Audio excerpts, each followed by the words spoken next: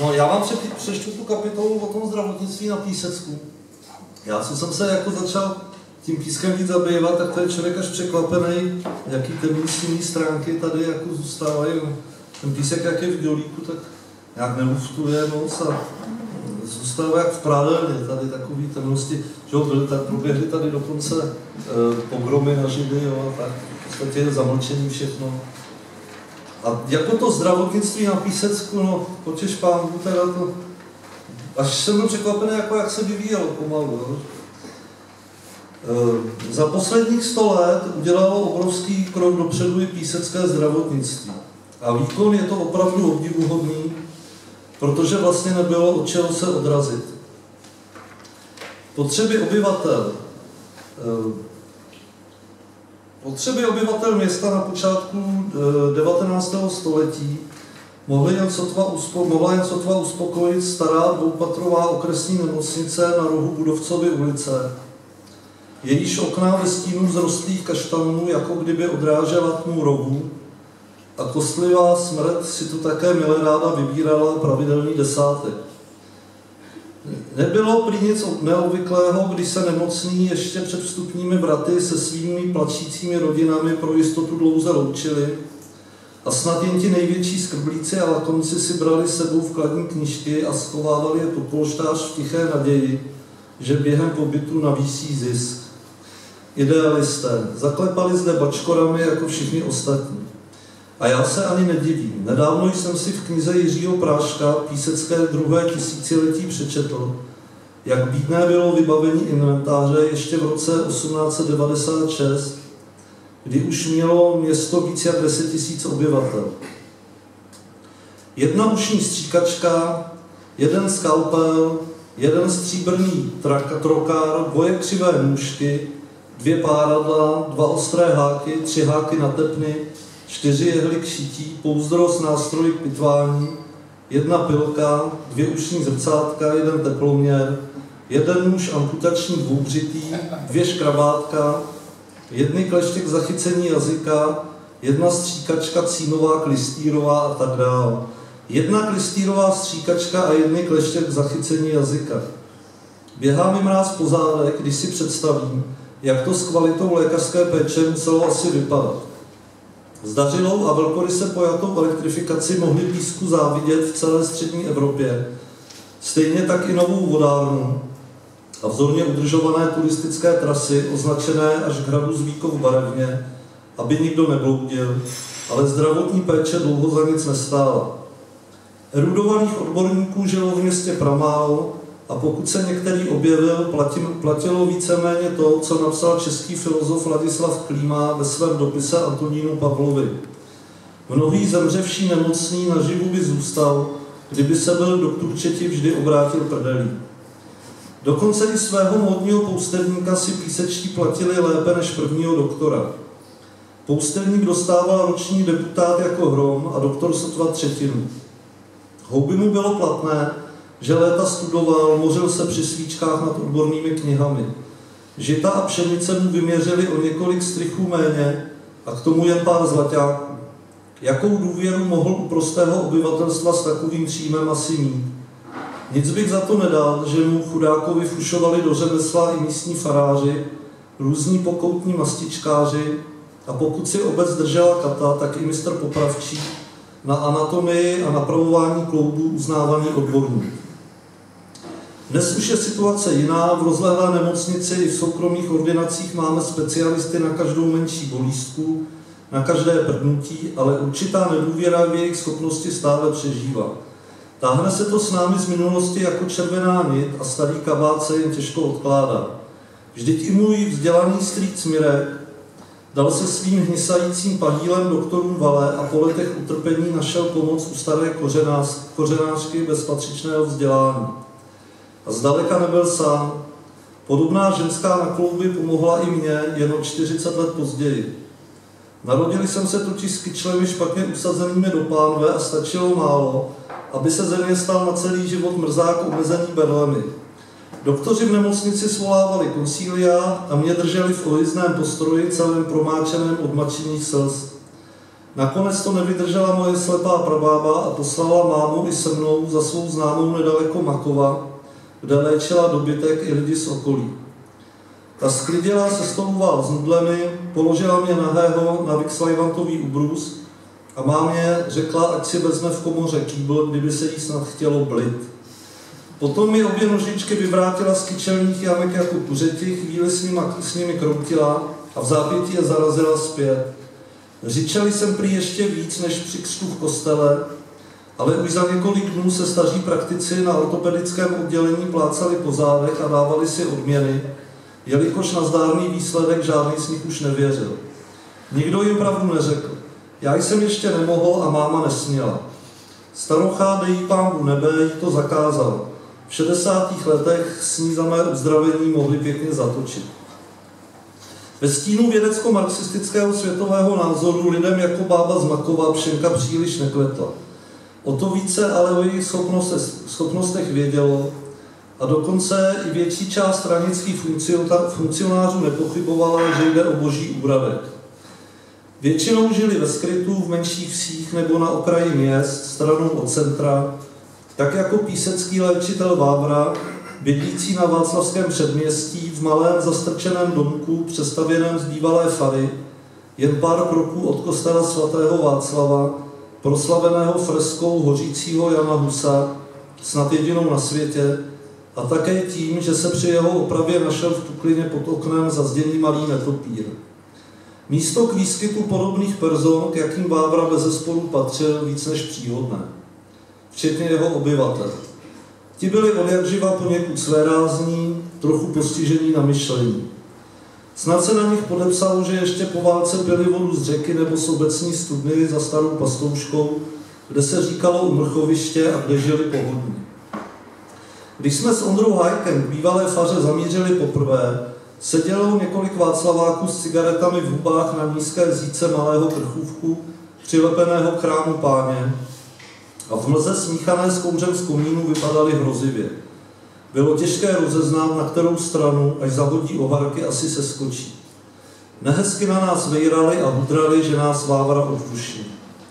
Ten nám ale přišel otevřít ve vytáhaných kalhotech, trpky na nohou zadělané od slepičinců a vůbec se nezlobil. Všechno na něm bylo domácí, obyčejné, až na oči. Ty potažené běličí mázdrou patřily zásvětí. Snad je i zdobil lehký cink. Odvedl nás do nevytopené cimry s křížem a s židovským svícnem na polici a když se ho Ondra zeptal, jestli ho nestraší umrlci za domem, zavrtěl pobaveně hlavou a tiše řekl. Tam leží jen dočasné schránky. Pokud se zjevují, tak rozhodně ne každému. Vitální princip z nich už dávno vyprchal. To ale neznamená, že by vám některý nemohl dát klackem, až půjdete okolo. A právě vy byste si to, pane Hájku, zasloužil. Ledviny máte plné kalu. Jako truhlář pracujete v dřemném prachu, musíte hodně pít.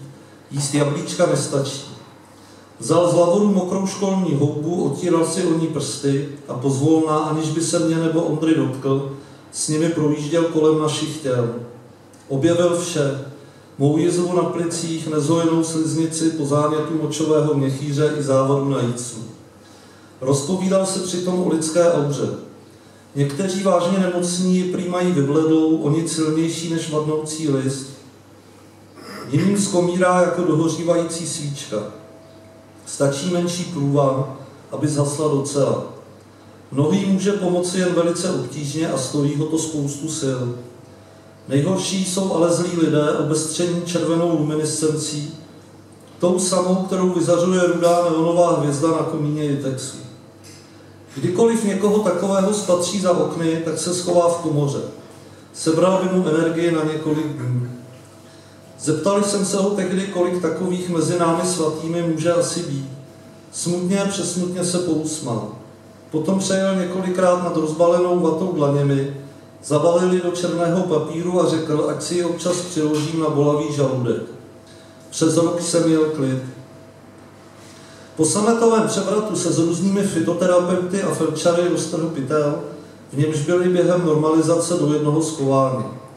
Urodilo se jich za krátkou dobu jako po dešti.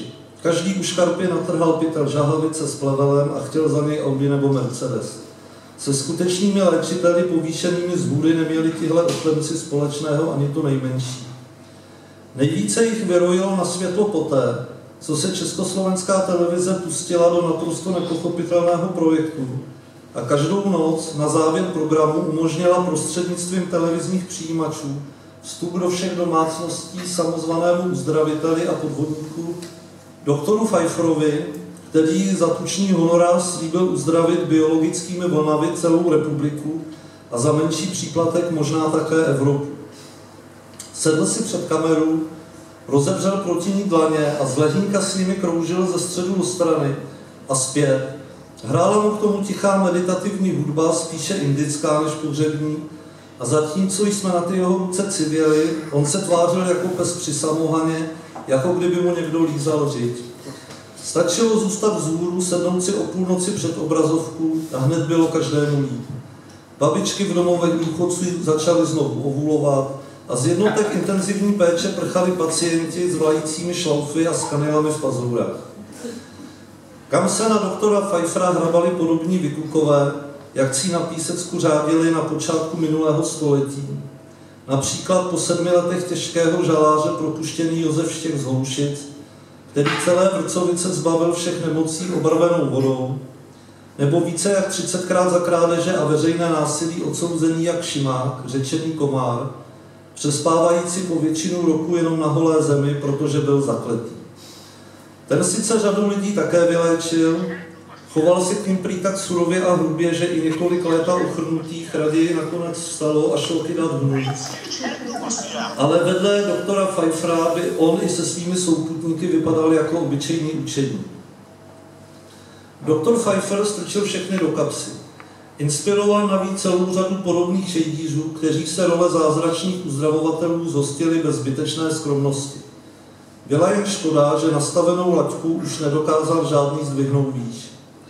Ve všech píseckých hospodách, v každé špelnice u sebe mnohý ze štangastů z ničeho nic objevil, nad drumem a protivníckou desítkou obdivuhodné psychotronické schopnosti a s nimi také dar předávat blahodárnou, snad jen trochu ožralou životní sílu, nazývanou v čínské medicíně jednoduše čchy. Ať člověk přišel k Bašusovi na Mariánku nebo na radost, hned mu někdo začal kolem obličejí kroužit otevřenými dlaněmi jako doktor Pfeiffer před hledáčkem kamery.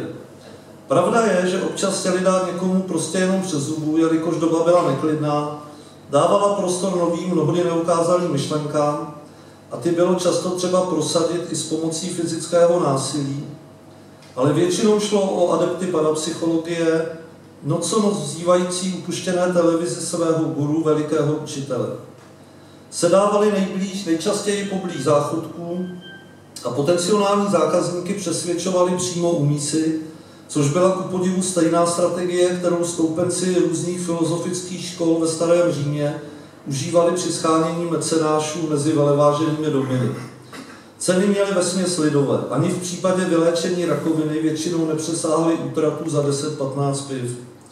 A přitom nešlo o žádné troškaře. Takový Vlasta Spolíš, praktikující mezi hospodou na radosti a lesním hřbitovem, dokonce sliboval pozůstalým, že jejich neboštíky zdvihne z hrobu do tří dnů, což mnohdy zavánělo vydírání a od slabších dosud respirujících jedinců dokonce za jejich budoucí zmrtvých stání vybíral menší zálohu. Mnozí se pohybovali na hranici vlastního sebeobětování, jako kdyby si chtěli vzít příklad z odvahy jezuitských kněží, pomáhajících nešťastníkům při epidemích moru nebo cholery.